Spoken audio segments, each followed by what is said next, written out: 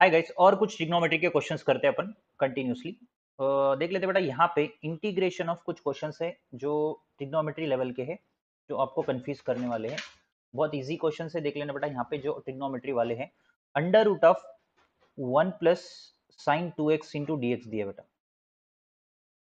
इसका आपको इंटीग्रल करना है, ठीक है? इसका इंटीग्रल करने के लिए वेरी सिंपल है बेटा। पहले अपन इसको क्या कर सकते हैं बेटा? सबसे पहले इंटीग्रेशन ऑफ़ आपके पास एक प्रॉपर्टी है बेटा। क्या प्रॉपर्टी है मैं यहाँ पे लिखता हूँ। देखो बेटा साइन टू एक्स की प्रॉपर्टी कितनी है बेटा अपने पास? Sine two X equal to two sine X into cos X है बेटा अपने पास ये प्रॉपर्टी तो सिंपल सी बात है बेटा, मैं यहाँ पे पहले क्या करता हूँ? प्रॉपर्टी लिख लिया साइन टू एक्स की जगह।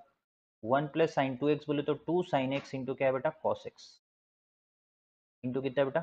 डी एक्स तो आपको पता है बेटा वन के जगह मैं क्या लिख लेता हूँ बेटा? वन बोले तो। One is equal to I will write sine square X plus cos square X ये भी प्रॉपर्टी आपको पता है बेटा। तो यहाँ पे अंडर रूट वन की जगह क्या लिख लेते बेटा? Sine square X plus cos square X और plus two sine X into क्या बेटा?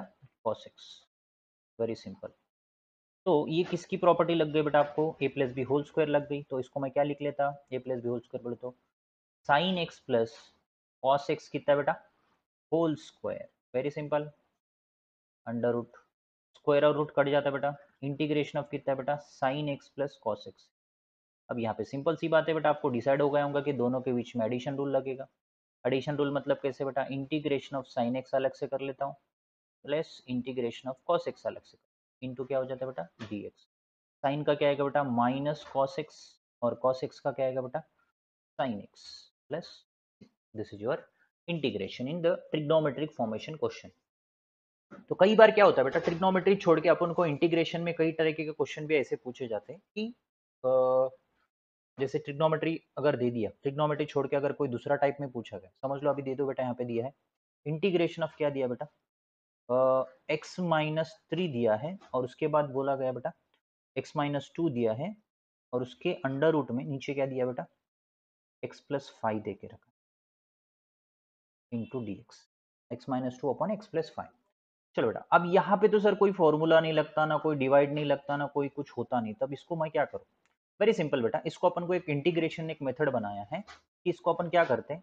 एक्स माइनस टू कर लेते और ए इंटू अपन क्या लिख लेते बेटा यहाँ पे?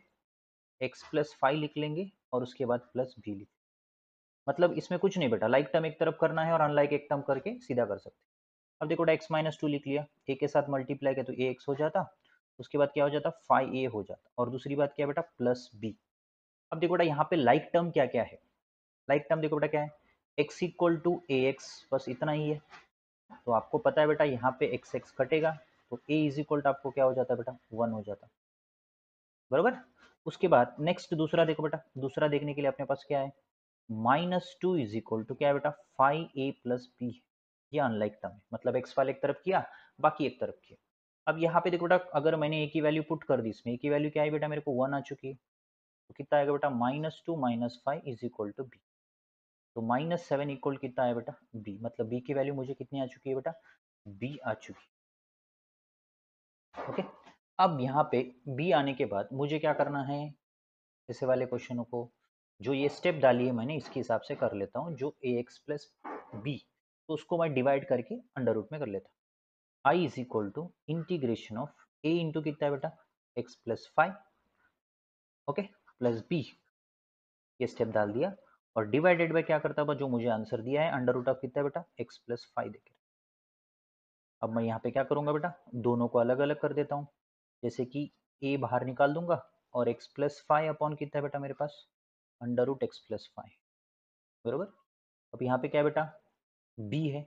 बी बाहर निकालूँगा इंटीग्रेशन ऑफ़ सेम डिनोमीटर करने के लिए एक्स प्लस फाइव हो जाता इंटू कितना है बेटा? डी एक्स आपको पता है बेटा एक्स प्लस फाइव और एक्स प्लस टू इसका अगर अपन रेशनलाइज करते हो तो आंसर क्या है बेटा? टू रूट टू बोले तो इसका कितना लिख सकता है बेटा? रूट टू लिख सकता। तो यहाँ पे ए की वैल्यू मुझे कितनी है बेटा? वन और ये दोनों को मैं क्या लिख सकता? Under root of x plus five क्यों लिखा मालूम है?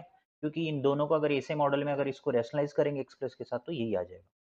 और बी की वैल्यू कितनी बेटा अपने पास? माइनस सेवन है। और इसको अगर मैंने ऊपर ले लिया तो क्या हो जाता है बेटा? एक्स प्लस फाइव होल की power minus one by two क्योंकि प्लस वन बाई टू रहता नीचे रूट में निकाल देंगे तो ऊपर जाएगा तो माइनस हो जाएगा। अब यहाँ पे भी इसको भी सेम लिखते बेटा integration of x plus five whole की power plus one by two हो जाए। और ये क्या है बेटा? सेवन इंटू ये क्या हुआ एक्स प्लस फाइव होल की पावर माइनस वन अब ये दोनों को पावर रूल लगा देंगे। क्या आएगा बेटा पावर रूल इनका? एक्स प्लस फाइव होल की power one by two plus one by two नीचे भी क्या आएगा बेटा? One by two plus one by two, ठीक है? और माइनस सेवन इसका भी क्या होगा बेटा? X plus five minus one by two plus one, और इधर क्या आएँगे बेटा? Minus one by two plus ठीक है? तो अपन को डिसाइड होगा कि अपना आंसर क्या आ सकता है। देखो, ये भी तो पता लग गया बेटा आपको। ये भी तो पता लगने के बाद देखो बेटा, क्या हो सकता है अपना आंसर? इसलिए इसमें देख लें। अब यहाँ पे देखो बेटा, मैं कर लेता हूँ। क्या आ चुका है बेटा अपने को यहाँ पे? एक्स प्लस फाइव होल की पावर कितना है बेटा? थ्री बाई टू नीचे भी कितना है बेटा मेरे को? थ्री बाई टू आ चुका है। और माइनस सेवन इंटू इसका क्या होगा बेटा? X plus five minus one by two plus one बोले कितना होगा बेटा? प्लस वन बाई टू हो जाएगा। नीचे भी क्या होगा बेटा? प्लस वन बाई टू ठीक है? अब ये ऊपर चला जाएगा तो ये टू बाई थ्री हो जाएगा बेटा। इधर क्या लिख सकता है? एक्स प्लस फाइव होल की पावर थ्री बाई टू अब यहाँ पे क्या होगा बेटा? ये टू ऊपर चला जाएगा तो सेवन टू जो फोर्टीन हो जाएगा और एक्स प्लस फाइव होल की power plus one by two हो जाएगा। ये अपना ओरिजिनल क्वेश्चन एनी कन्फ्यूज़न बेटा इन दिस सेवन टू जो मतलब नीचे आएगा तो सेवन टू जो फोर्टीन हो जाएगा ये। Minus fourteen x plus five into whole की पावर वन बाई टू ठीक है? चलो नेक्स्ट देखते बेटा।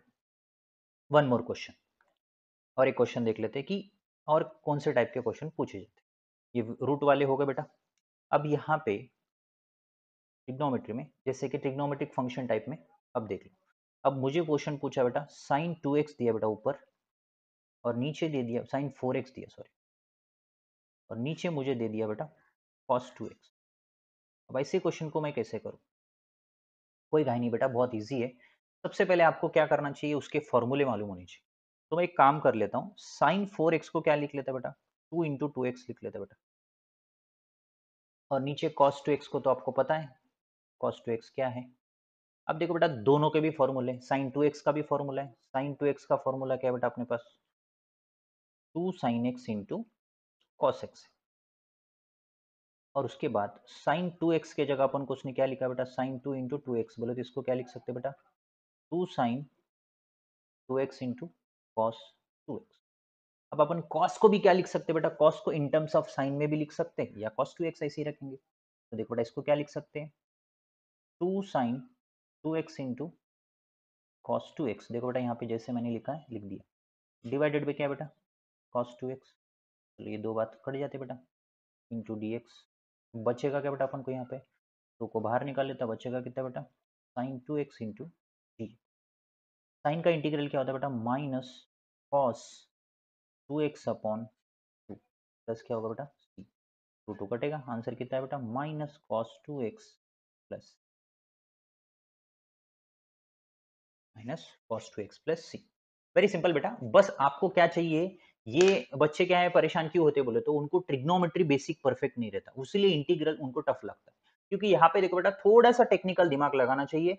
इंडिपेंडेंटली करना चाहिए। जैसे कि बुक में रट्टा है वैसा करने की गरज नहीं कि आपको इमेजिनेशन करना चाहिए। जैसे साइन फोर एक्स को मैंने कैसे लिखा? वैसे। हर चीज़ में अपन को टेक्निक मतलब दिमाग लगाना चाहिए। ऐसी नहीं कि हाँ पीछे ऐसा था, मैंने ऐसा देख के कॉपी किया। वैसा नहीं हो सकता।